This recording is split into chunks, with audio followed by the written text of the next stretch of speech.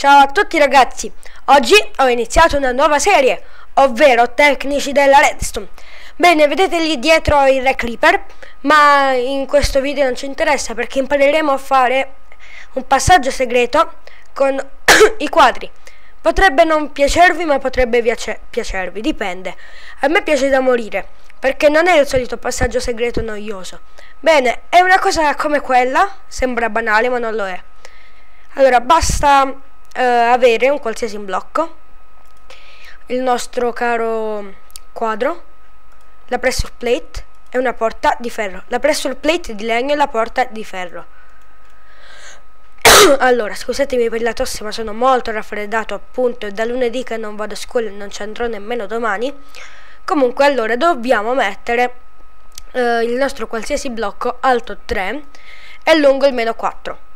Queste sono le misure standard, poi se lo volete fare più grande potete.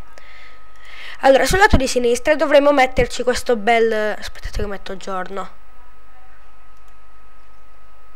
Allora, dobbiamo metterci un altro blocco sul lato di sinistra e sopra la pressure.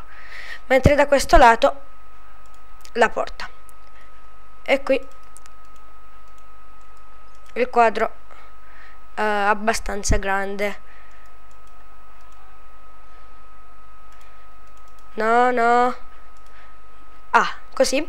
Quando andremo a gettare il nostro oggetto, ci allontaniamo, passiamo per la porta e lo raccoglie automaticamente. Poi lo andremo a rigettare, passeremo per la porta e lo raccoglieremo. Bene, spero che vi sia stato d'aiuto. Uh, quindi se adesso volete nascondere bene i vostri tesori sapete come farlo. Votate, commentate e iscrivetevi.